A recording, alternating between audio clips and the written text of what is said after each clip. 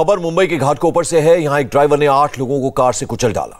तस्वीरें आप देखिए और आप देख सकते हैं किस तरह से कार ड्राइवर ने तीन रिक्शा, एक टेंपो और दो बाइक को टक्कर मार दी। घटना में कुल आठ लोग घायल हुए हैं, जिनकी हालत स्थिर बताई जा रही है। घायलों में एक छात्र भी शामिल है। ये दिल दहला देने वाला हादसा घाटकोपर के सुधा पार्क इलाके में हुआ है। पुलिस ने कार ड्राइवर को गिरफ़्तार कर लिया है।